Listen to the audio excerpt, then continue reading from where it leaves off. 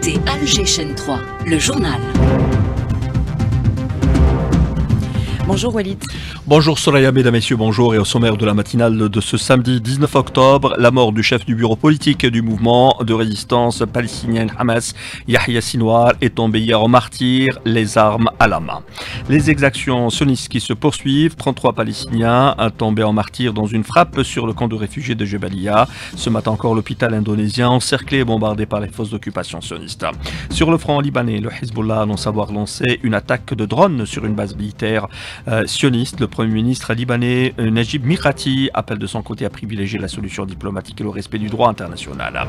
L'Algérie rejette dans les termes clairs et sans équivoque le chantage exercé par le Maroc sur le Haut Commissariat pour les réfugiés dénonçant les arguments fallacieux et sans fondement dont use ce pays pour bloquer le travail de cette organisation onusienne. Au chapitre santé, création de centres de santé spécialisés dans les maladies cardiovasculaires et pathologies cardiaques dans toutes les régions du pays, annonce faite par le ministre de la Santé, Il y aura également du sport, football avec la cinquième journée du championnat de Ligue 1 disputé hier, le Mondial d'Alger qui prend provisoirement la tête du classement après sa victoire, un but à zéro, aux dépens de l'USM Khenchla.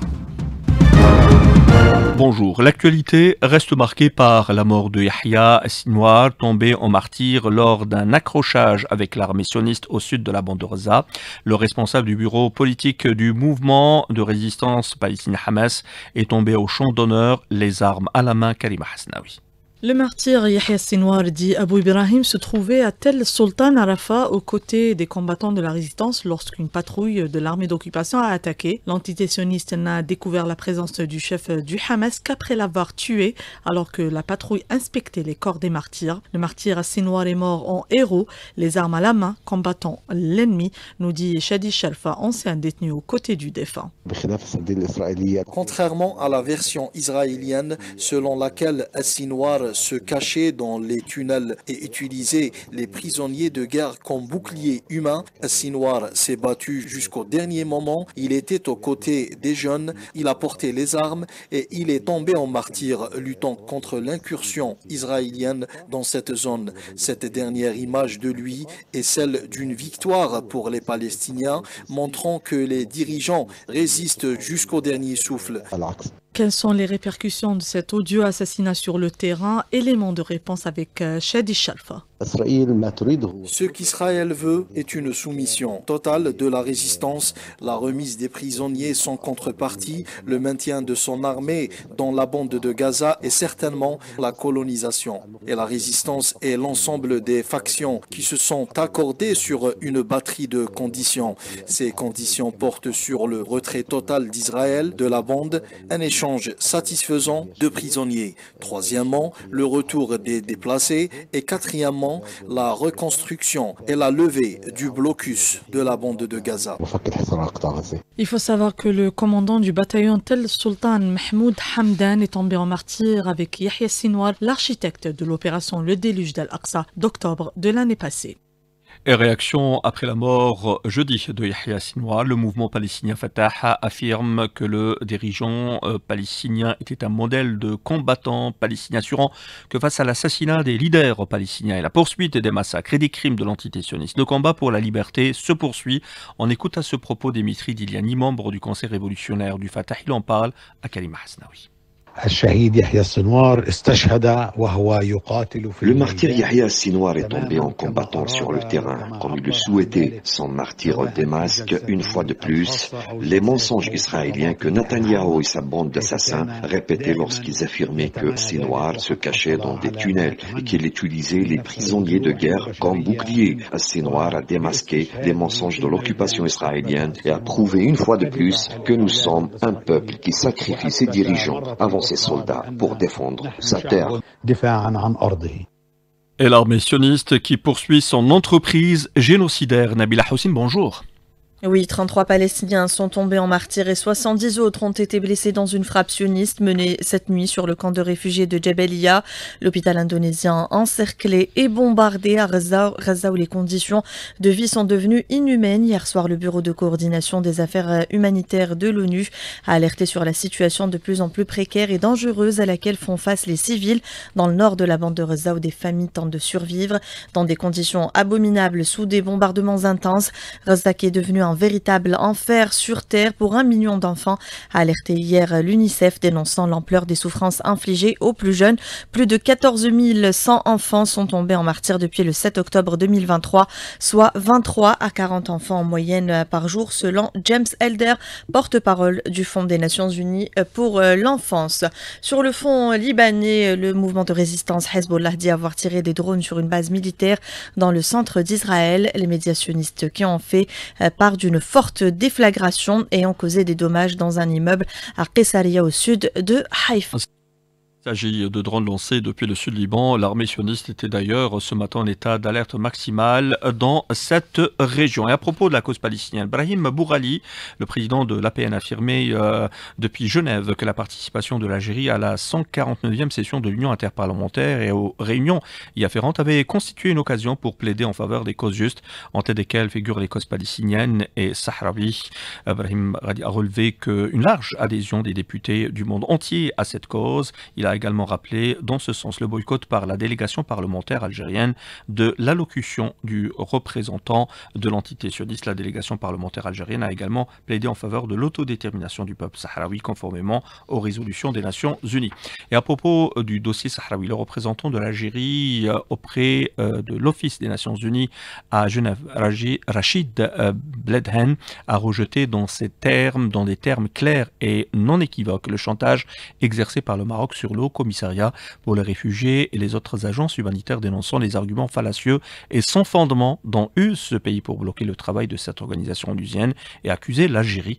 Le diplomate algérien qui s'exprimait lors du vote du budget de cette agence des Nations Unies pour l'année 2025 a relevé dans ce contexte que tous les délégués ici présents ont noté, je cite, que les accusations contenues dans le discours de ce pays n'ont aucune relation avec le euh, budget. À propos toujours du Sahara occidental, l'Observatoire international international Western Sahara Research Watch a salué hier l'inclusion dans le dernier rapport du secrétaire général de l'ONU, Antonio Guterres, sur la situation concernant le Sahara occidental d'une référence au pillage des ressources naturelles de ce territoire par le Maroc, exhortant le chef de l'ONU à relier ce pillage à l'impossibilité actuelle de permettre au peuple sahraoui d'exercer son droit à l'autodétermination. Et pour clore ce chapitre international, Cuba, qui tentait hier soir de rétablir son système électrique, paralysé par une panne géante qui a plongé dans le noir ses 10 millions d'habitants. Il est 8h08 minutes sur les ondes d'Agéchen 3. Nous vous lisions en titre. Abdelhaq Seyhi évoque la création de pôles de santé pour les maladies cardiovasculaires dans toutes les régions du pays, basé sur un processus de jumelage pour améliorer les conditions et la qualité de la prise en charge des patients. Le ministre de la Santé s'exprimait lors des travaux du Congrès international de cardiologie organisé par la Société algérienne de cardiologie en présence d'experts et de spécialistes dans ce domaine. Direction Béchar avec l'effondrement d'un immeuble dans la nouvelle zone urbaine de l'Ahmar au nord de la commune de Béchar. On ne déplore aucune victime parmi les 16 habitants de cet euh, immeuble. Euh, suite à cet incident, le ministre de l'Habitat, de l'Urbanisme et de la Ville, Mohamed Tarek Belaribi, a présidé une réunion d'urgence pour déterminer les tenants et aboutissants de l'effondrement de cet immeuble. Le wali de Béchar, Mohamed Saïd Benkamou, accompagné des autorités locales, s'est déplacé sur les lieux et a promis de reloger les locataires sinistrés dans de nouveaux logements situés dans la zone urbaine de Tiradine au nord-est de euh, Béchar. Et puis euh, parlons également du patrimoine culturel africain cette fois-ci, la nécessité d'enrichir le grand musée d'Afrique par les pays africains en y déposant des objets d'art et la restitution des biens culturels africains pillés et qui dorment ailleurs, un impératif sur lequel a insisté hier la commissaire en charge des questions culturelles de l'Union africaine. Ninata euh, Samati Sissouma a lancé un appel aux 55 pays membres de l'Union africaine sur la nécessité d'enrichir le grand musée d'Afrique dont le siège temporaire est à Alger. La responsable africaine s'exprimait à l'issue d'une visite guidée à la faveur d'une importante délégation de ministres et représentants africains de la culture. Cette visite organisée, je vous rappelle, en marge de la grande manifestation Canex 2024, événement majeur initié en 2020 par la Banque africaine d'export et import, Afrexim Bank euh, et Cabrit Alger, avec pour but de promouvoir les industries culturelles créatives africaines. D'ailleurs, l'héritage culturel africain et l'économie créative étaient au centre d'une conférence hier en marge de cet important événement. Le commentaire de Mohamed Achir, spécialiste en questions économiques et enseignant à l'université de Tizi Ouzou, il a été contacté par Smaïl Mimouni. L'Afrique, c'est le bastion de l'humanité qui est très riche, surtout par une histoire très très ancienne. Aujourd'hui, la culture est considérée comme un produit, comme une économie. Il y a un marché culturel carrément dans le monde qui est très lié au tourisme culturel. Renforcer le tourisme intra-africain exige la mise en valeur de ce patrimoine matériel et immatériel, la mise en valeur de l'histoire, des arts culinaires, des traditions, de tous les objets anciens et de toute la culture aussi, même maintenant avec les nouvelles formes culturelles modernes, les arts plastiques, le cinéma, la production intellectuelle. C'est tout un marché culturel qu'il faut créer en Afrique, qu'il faut mettre en valeur. L'art est très très important, même pour la recherche scientifique, même pour le développement économique des pays. 8h11 minutes sur les ondes d'AG 3 dans cette édition. Nous nous intéressons également à cette euh, équation qui occupe les esprits de tous les parents, les cours de soutien, pratique qui prend de plus en plus d'ampleur. Soraya Roselin s'est intéressée à la question reportage. Habitant Tipaza, Hassina, parente, a eu recours à cette formule car son fils doit passer son brevet. Difficulté d'assimilation ou non, ses cours de soutien diffèrent d'une région à une autre. Je suis une maman d'un enfant qui passe le BM cette année.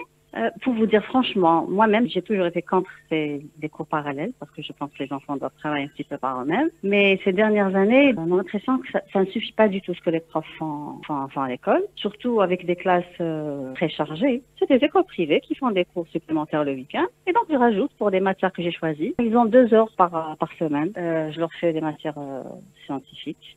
Et je rajoute souvent l'arabe. Et en général, c'est dans les 1500, 2000 dinars par mois. Professeur dans un lycée, Leila enseigne les sciences physiques chaque mardi dans une école privée. Les cours, c'est pour aider les élèves faibles, mais aussi pour renforcer les bons élèves. J'ai des petits groupes de 15 à 20 élèves, ils payent 3500 par mois, les terminales. Les cours de soutien peuvent améliorer le niveau pédagogique des élèves, mais cela ne doit pas se faire aux dépens de l'enseignement dispensé au niveau des établissements scolaires. L'enseignant est tenu d'assurer son programme selon le programme de la tutelle. Et pour clore les pages de cette édition, cette visite guidée à la mosquée Emir Abdelkader, la plus grande mosquée de Constantine, Hayat Karboua.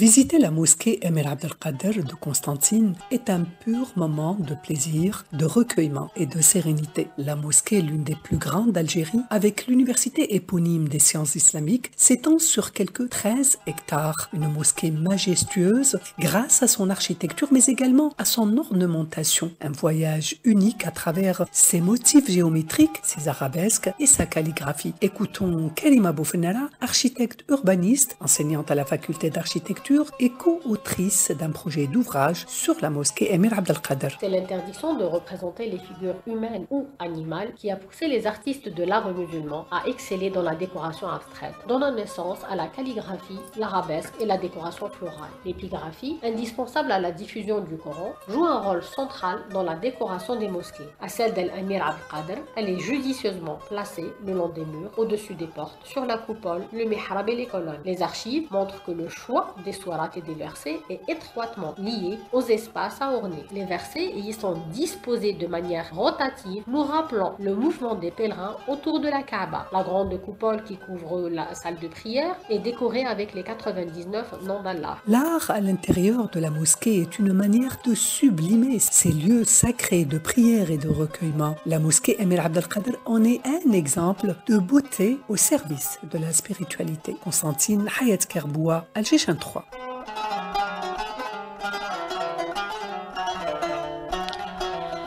Et sur ces notes que prend fin cette édition réalisée par Sidali Djilali, merci à vous de nous avoir prêté attention.